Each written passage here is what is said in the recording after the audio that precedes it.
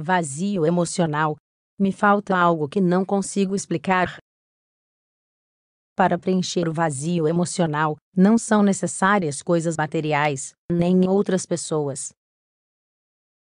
Só há uma coisa que pode preenchê-lo: o amor próprio. Tenho um vazio em meu interior que não sei como se formou. É um vazio emocional que faz com que eu me sinta incompleta insuficiente. Preciso preenchê-lo com algo, seja o que for.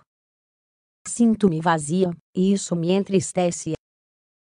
O vazio emocional é uma experiência que, às vezes, sentimos após a morte de um ser querido, após o fim de um relacionamento, ou, simplesmente, após uma decepção. Devemos prestar a devida atenção a ele porque, se isso durar muito tempo, e começarmos a preenchê-lo com pessoas e coisas, estaremos apenas remendando o verdadeiro motivo pelo qual o vazio emocional se fez presente em nossa vida. O vazio emocional infinito. Muitas pessoas tentam preencher esse vazio emocional, que as atormenta se refugiando em elementos materiais. Daí, surgem as compras compulsivas que, depois, levam a um grande peso na consciência. Gastam dinheiro em uma tentativa de fugir, de se distrair do que lhes causa tanta dor. No entanto, isso é apenas um paliativo que não solucionará o verdadeiro problema.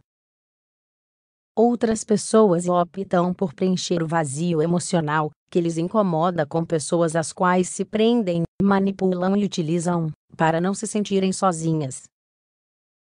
Isso é um grave erro, pois fazem mal tanto aos demais quanto a si mesmas, e terminam em situações muito destrutivas e infelizes. O vazio emocional causa desespero e faz com que nos apeguemos àquilo que pode nos aliviar de agora, neste momento.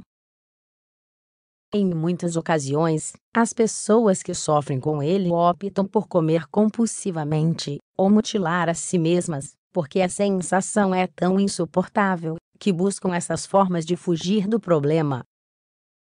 Suas origens na infância.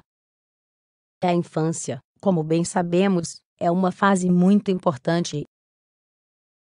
Nessa etapa são geradas as carências e todos os problemas afetivos e emocionais que nos causam tantas dificuldades na vida adulta. Se crescemos numa família desestruturada, se nossos pais tinham uma relação disfuncional, provavelmente não nos deram a mínima afeição de que necessitávamos. Quando crianças, nos adaptamos a tudo. Por isso, passemos pelo que passemos, nada terá um impacto grave quando somos pequenos. No entanto, quando crescemos, tudo vem abaixo.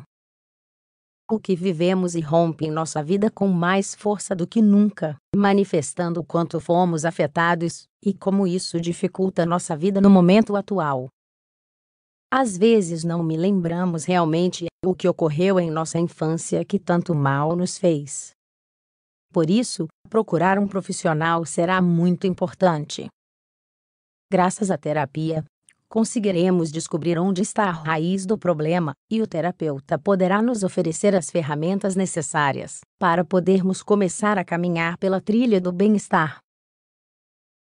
O vazio gerará mais vazio, mesmo que busquemos muito uma solução, se for externa, ou seja, se tentarmos preencher nosso vazio com pessoas, roupas ou comida, ele continuará lá. Podemos estar com um parceiro que achamos ser responsável pela nossa felicidade, é, ainda assim, nos sentirmos vazios. Podemos comprar muitas coisas, é, no momento em que as vemos, sentimos que não nos preenchem, esses remendos não servem de nada, se tornarão um círculo vicioso, que só vai nos causar ansiedade e muito mal-estar. Às vezes, temos dúvidas e medo de pedir ajuda. Quando essa é uma das melhores decisões que podemos tomar. Nem sempre podemos enfrentar as coisas sozinhos. Mesmo sabendo o que acontece conosco, às vezes não contamos com as ferramentas necessárias para deixar de caminhar pelo mesmo caminho cheio de pedras. É o momento de deixar de encher esse vazio com coisas inúteis e parar de culpar nossos pais, pois eles fizeram o melhor que podiam. A responsabilidade pelo nosso bem-estar é apenas nossa. Dessa forma, vamos assumir isso e buscar ajuda. Só precisamos de um empurrão, um você não está sozinho, para encontrarmos nosso caminho novamente. Porque, em algum momento, nos perdemos. Mas isso não significa que não possamos voltar a nos encontrar. O vazio emocional continuará lhe fazendo sentir vazio se você não começar a preenchê-lo com amor por si mesmo. Assim, conseguirá voltar a ser feliz. Imagem principal cortesia de Wikio com